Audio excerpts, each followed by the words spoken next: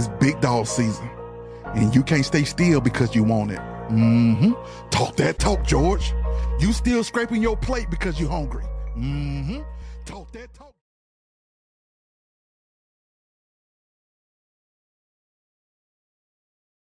Good morning. Today is Thursday, it is September 12th. The year is 2020. I was going to do a video on September 11th yesterday, but what happened over here yesterday? Oh, there was a lot going on over here yesterday. Um, Rosie came in to clean. I had somebody come over. It was just a lot of people running in and out of this house yesterday, so I couldn't. And it started like literally at 6.30 in the morning. So I didn't get a chance to do a video about September 11th. Um, I was going to do a video about where I was on September 11th. I never clearly remember I was renovating a house on East Lake Drive in, in the East Lake neighborhood. We were actually living in that house while the house up in on in Buckhead was being renovated. Uh, so we were t- staying in a temporary home that morning of September 11th when all that stuff went on. So yeah, I'll never forget where I was on September 11th. I was, I was literally laying in that house watching TV, talking to a, a um, kitchen cabinet um, lady, and we were on the phone and all that stuff kicked off. But anyway, um, wow, today's been a doozy of a week. This has been a very interesting summer because I wasn't in the best of, um, you know, I had my teeth done, so that kind of created some issues. And I just wasn't really overall feeling in the best this summer. So I had a lot of clients that came into to my home, came into this house, sat here in this kitchen. I sat and worked with them. Over the years, I've worked with clients. I've, I've helped I've helped clients to lose over 100 pounds through diet, exercise, work, supplements, a mixture of things. And for some odd reason, these people, these motherfuckers just ain't grateful. Somebody takes the time to sit down with your fat ass, help you get your shit together, help you get on the right path, get everything going, and it's the best you ever looked in your ratchet ass fucking life. You know, I've had to, over the, this year, y'all, was not playing. If you got on my nerves, if you walked into my home and you got on my fucking nerves, by the time you got to that car, car and drove off, you were blocked and deleted. I wasn't playing. And I have learned I am of an age where I don't want to be bothered. If if you irritate me, and we just on the level of personal training, trying to get your fat ass in shape, trying to get you on the right path. If you come into my home and you get on my last motherfucking nerves, and I, I've gotten over this, it's gotten easy to get on my last motherfucking nerve. Let me just assure you of that. I, I but listen, I, I, have tried to refrain from cussing motherfuckers out, but I have really started cussing people, people out. Sometimes you get in point in life, you just don't want to be bothered with people and their fucking ignorance. If you're an ignorant fool, stay the fuck away from me. Add this big fat motherfucker, he dropped over 100 pounds. Best he ever looked. And he's sending me all these crazy text messages. And yeah, I'm like, dude, what is your fucking problem? You know, we going back and forth. And I'm like, why am I why am I wasting my time going back and forth with this bastard? We still got oh, you still got a ways to go. What is your issue? And so finally it dawned on me. Block and delete this nigga be done with. I went on and blocked and deleted his ass. I said, okay, I had enough. He think I'm playing with his ass. Block, delete. I don't have time for this shit. Well, the next day he come knocking at the door. I look out there on the ring camera. I ain't answer. He ring the doorbell, mm, no, no answer. I, I just I'm, i see his black ass out there. I just want to apologize. I know you hear me. I wasn't in a good mood, and man, I really appreciate your help and blah blah blah. I did not much, y'all. I'm not going to go this back and forth with people because I don't need you. For some odd reason, some people seem to think I need you. When I dump clients like that, I can go pick up 10 more clients. They ain't got to deal with all them issues. But I have to constantly stay on the phone with you about all kinds of bullshit. I can just be done with your ass and I move on to somebody else. Less stress, uh, more money. I'm not in this. I'm not. I don't do anything just for the sake of doing this. Y'all seem to be confused. Some people seem to be think I'm just sitting over here doing this for fun. I'm, I'm not. I'd rather go to Disney World. When you walk through my door you know you damn near 400 pounds, and you have you have done everything you could to lose this weight over years, and you from working out 12 hours a day, you did everything, but you still 400 pounds. And the first time in your life we finally drop 100 pounds off, and you still not happy. My price is too high. You done been to every doctor. You done ran in this place and that place. Nobody's been able to help you. Nobody's been able to get help you look. The, this the best you ever looked in your motherfucking ratchet ass life. Get the fuck out my face. And fast. Coming down 100 pounds, you still got all the muscle. You still look good. No health issues along the way. I've had this problem several times. I had another actor who came around, here. you know, I could deal with these fake ass actors here. You know, everybody want to be an actor, singer, songwriter, dancer, post post man, post postal delivery worker. that's, that's the one job they better keep is that postal delivery worker. That's that shit ain't working. They always walk through this door, bodies looking uh, oh, look horrible. Bodies look a mess, y'all. They are, there's no reason to come see me if you look like a superstar. That's what you're here for. No, you come here because I need help. Help, help, help, help, help, help, help. And so we sit here, we come up with a game plan, and we work at it. Then we get you to where you look the best you ever looked in your life, and then they always act a motherfucking fool. I mean, it's just time and time again, he's ungrateful as niggas is always you ungrateful as niggas. Instead of saying being grateful that somebody has taken the time, showed you what to do, put something together to help you because you didn't know what the fuck you were doing. Trial and error for years, finally get you on the right path, and then you cuss them out. You don't like the person no more. I'm like, and, that's, and half the time I'm sitting there thinking, okay, well, what did I do to this person? Oh, I know what I did. I helped this person look the best they ever look in their ever motherfucking life, and they're ungrateful. Block and delete. I'm not playing y'all. Mm, I'm the wrong person to go with this Dr. Jekyll, Mr. Dr. Jekyll, Mr. Hyde bullshit. If you bipolar, you better say it up front. Well, I'm bipolar. I go crazy sometimes. Okay, better say it up front because let me tell you something. If I don't know where you coming from, and I don't, I'm not understanding your bipolarism, and I'm not understanding your crazy behavior, I do understand block and delete. And I'm real swift about that. And I'm at a point now that once I block and delete you, once that decision has been made by the higher ups in my head, they, you know, the Supreme Court up here, it's a wrap. We're not going back. Find somebody else. We're not going back there because you ruined it. You ruined it. We're not going back there. That's done. Don't come over here no more. Don't call me no more. Don't switch different phone numbers. Don't email me. Leave me alone. We have we were on a path. We were having great success. You fucked it up. I didn't. You did. Ciao. And I had another friend who does something similar to what I do, and he was like, Walter, these guys are calling me, but you didn't block and deleted it. And he's like, tell me what happened. I said, whatever happens between me and you, me and, me and them, you're welcome to take them as a customer. Yeah, but if you got rid of them, uh, what something has to happen. I said, no, that just means between he and I. This is what happened between us. And Willie, Willie, Willie, nothing. I just get tired of bullshit. I mean, if you want to take him as a client, then proceed forward with caution. You see what happened over here. Now, there have been several instances where I had to get rid of a client and then they went to somebody else I knew and then they had to get rid of them and they went to So it's like, okay, so it's not just me. it wasn't just me. There's other people they had these problems with. Back in the day, I used to let guys come back. I'd give them a second chance. I had a guy I was dealing with, he had some whole bunch of mental health issues that happened between he and I.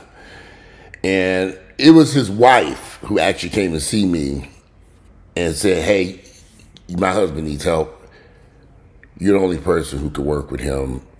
I'm begging you because he's he's got all these dreams and aspirations. Help him. You you were helping him achieve the, these goals. Now, this was some time ago. I did let him back in on the roster, and then we received everything. We ain't had no problems since that time. However, I'm not built like that no more because I know people. I I I, I sometimes, and I'm just saying this because you're in my home. Is most of the time I'm just here by myself with these individuals. I feel uncomfortable with somebody who all of a sudden gets angry with me about nothing. I've done nothing to you but help you look the best you ever look in your entire life. All of a sudden you have a beef with me and I don't know nothing about this beef. All of a sudden you have a problem with me and I don't even know where it came from. You can't come back here no more. You just can't. I can't let you back in my house. I don't even want to be around you. We can't even talk on the phone to communicate. Something wrong with you, not me. If you're having mental health issues and whatever else is going on, and it happens, go resolve those issues with a psychiatrist. I'm not a psychiatrist. And that's that. You can't don't get mad, don't need to get mad at me. You can find other people who do what I do. I ain't the only person. They got a lot of them out there. Good luck finding a good one. 30 years experience. Good luck with that. Your price is too high. You don't have to pay it. You don't have to pay it. If, my, if you think my price is too high, you don't have to buy nothing I have for sale over here or nothing. You, you don't have to do anything. Can leave. That's what I would do. If I walked into a department store or someone's and the price was too high, I would leave. There were people who came to renovate my house and they came over with some prices I thought was too high. I didn't say nothing to them. I just said, okay, thank you. I took the price goes to and called somebody else. Nah, I didn't complain. Your price is too high. And I'm, no, I didn't say none of that. I was like, okay. This ain't gonna work. I mean, good luck. The problem that really gets on my nerves and irritates the fuck out of me is these people, these are some of these individuals, y'all, I swear to y'all, if you saw what they looked like before they came to see me, if you saw what their bodies looked like, if you saw what their physical appearance was, I tell them, I tell them, take their shirt off. And they take their shirt off, and I was like, okay, we got some work to do. You know, the goal is to lean you out, bring your body fat down without you having sagging skin. And if you're gonna have sagging, we got a, I got a doctor who works with you. You can do help remove that. There are things that we can do, but it requires work, working together. And then this is not there's not none, none, there's not a miracle happening over here. This stuff takes time. But my clients who've been the clients that I've been able to work with, and we've had good success, who've been with me 10, 15, 20 years they look amazing. We chat on the phone, everything's great. They don't even have to drive out here to see me no more.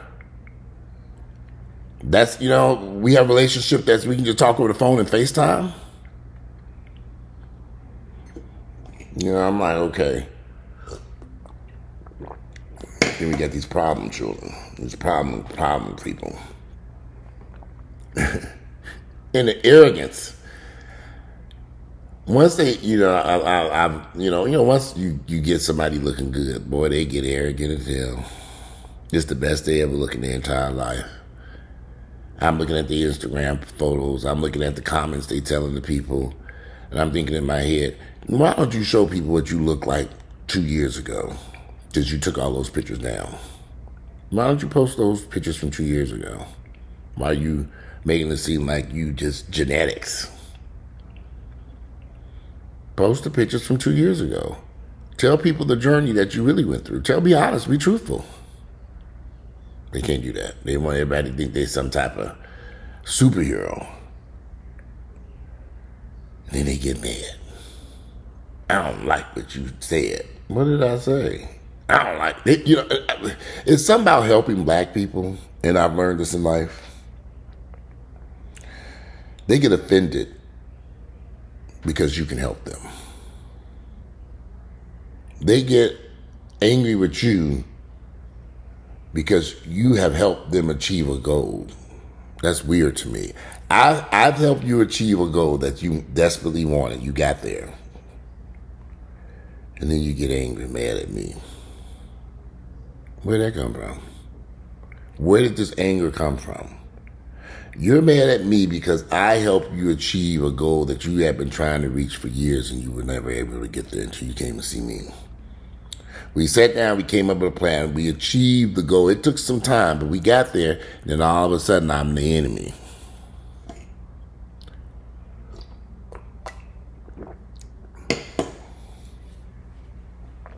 And I've learned every time you help somebody black, whether it's financially, where it's, always not everybody. I'm always grateful when somebody takes the time to show me and educate me and school me on something. I'm grateful, ever grateful to that person. But for some black people, they have a problem with that. They don't. They don't. You help them achieve the goal that they probably would never have achieved on their own, or they didn't know how to achieve it. And instead of them just saying thank you, I appreciate it, it turns to um, some type of hate. In I, I don't even know if I can call it jealousy or envy. I don't even know what to call it, and I don't even know where it comes from. But I've had I've seen this happen repeatedly. So when I realized the signs, and I started getting weird text messages, um, and sometimes you know we might be reading a text message wrong. That's why I prefer to talk to a person. But you know, but you repeatedly texting me these weird messages throughout the day, and I'm calling you because I want to talk about what is going on here. But you you don't want to talk. You just want to text.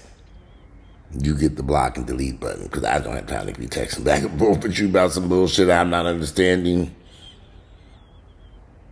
I'm not going back and forth with you niggas. I don't care who you are. I have blocked my mother.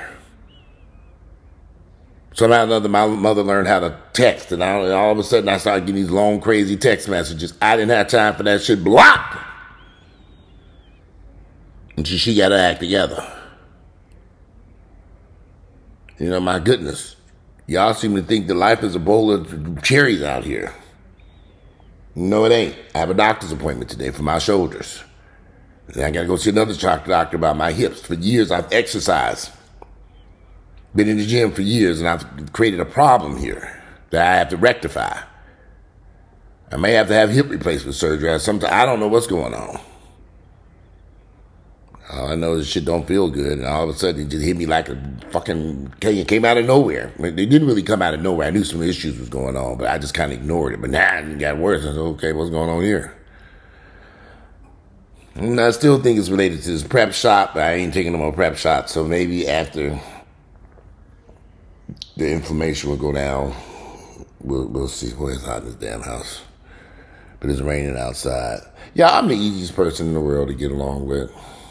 I don't like to fight. I don't like to argue. I, I, I did 20 something plus years with Earl. And why? I must, I must have been on fucking crack. You know, seriously. I don't like to fight. I don't like to argue. I, I, I like peace. I don't like going back and forth. But if you begin to destroy my peace, that's why when I do y'all, I keep telling y'all this. I don't have a whole lot of friends. I just don't. Uh, somebody was asking one of my clients in Texas. He was saying, you know, do you the people that when you first got to Atlanta, are you around any of the people that you first when you first moved there? And, are any of those people? No, none of those people around because I got sick of them. I got sick of the backstabbing, which is basically what this is. We so quick to stab somebody in the back, it just don't make no damn sense. We'll believe, and we'll believe a bunch of lies and somebody say, I heard somebody, that's another, somebody text me, well, I heard you say, I said, nigga, I ain't discussed you with nobody. What are you talking about? Nobody even knows we know each other. Lose my number. Make it even easier for you. Ignorant motherfuckers. But it's that time of the year, y'all. It is that time of the year. I just saw them pumpkins. I was walking over there to home, uh, uh, uh, Kroger yesterday. I was going to Kroger. And I look, I said, they got pumpkins out here already. I said, it's pumpkins. And I felt that breeze for I saw them leaves. I said, okay. And I got inside that Starbucks. They had cinnamon pumpkin lattes. I said, it's homosexual season. That explains why all the people getting up so friendly all of a sudden. I'm in the gym working out, guys. He ain't never paid me no attention. What's up, Walter? Yeah, it's a little chilly outside. I got a video for your ass.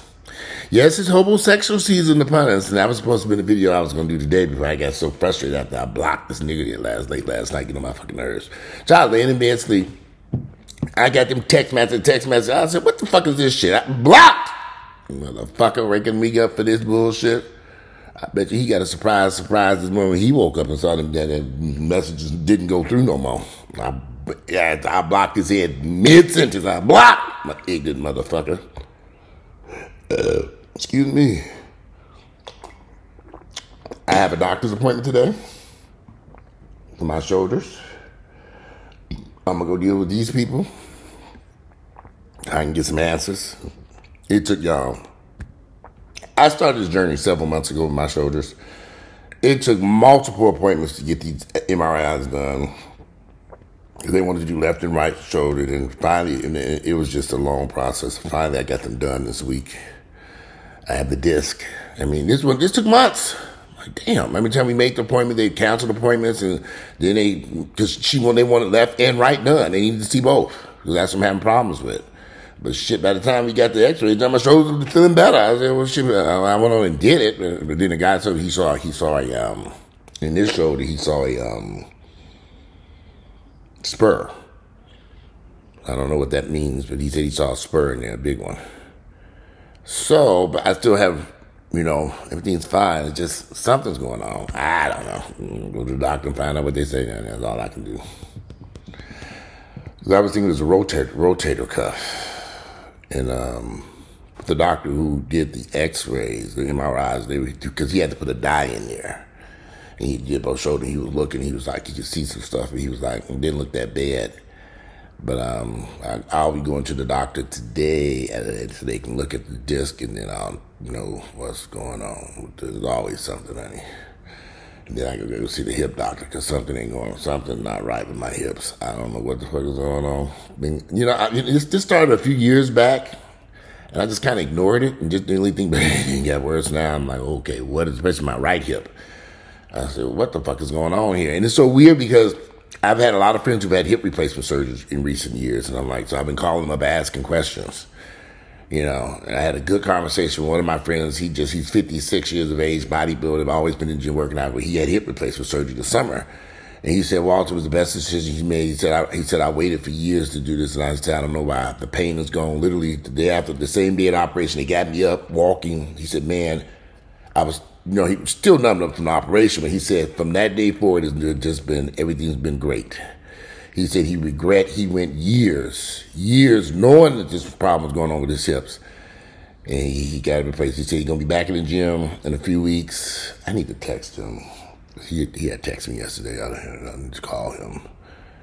Um, some people I have great relationships with y'all, I'm the easiest person to get along with. I'm very, I'm, I, I swear I am. But when you start attack, attacking me, question my integrity, questioning who I am as a person, questioning me about all kinds of stuff, um, and using terms like scam, but you lost 100 pounds. This is the best you ever looked. You go to your doctor, they're amazed, and you're you're using uh, the, the word scam in a sentence with me.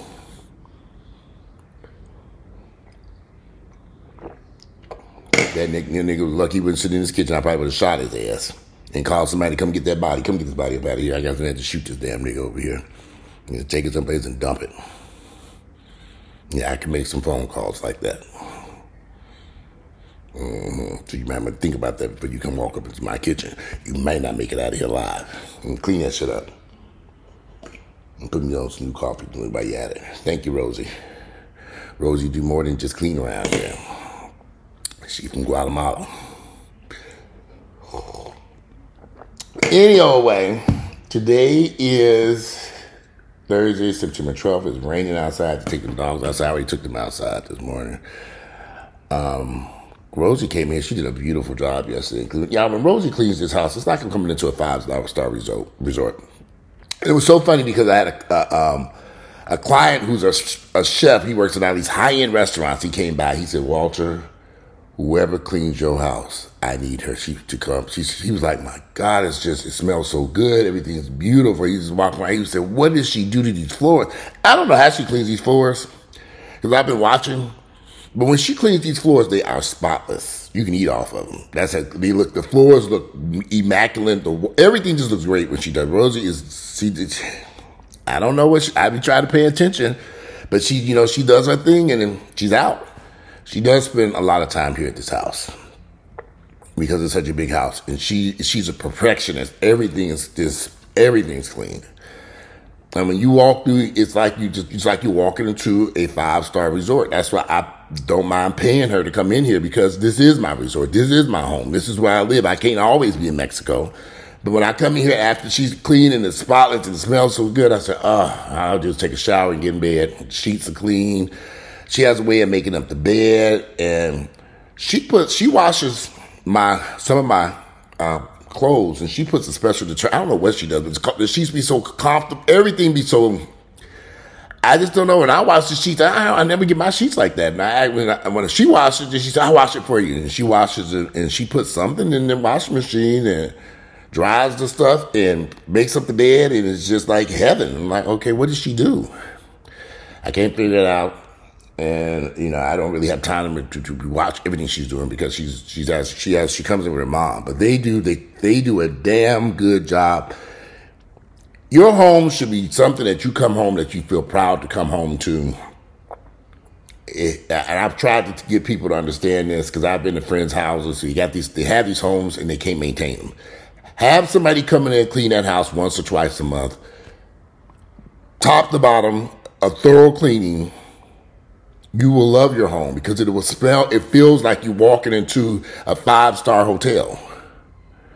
You know, so invest, if you're going to buy these houses, get somebody to clean these damn house professionally, especially if you're not that type of person who has time to do it. I don't have time to do this. And lot, this woman does this for a living. And she's a lot younger than me. And so she's vacuuming and cleaning. She does an immaculate job.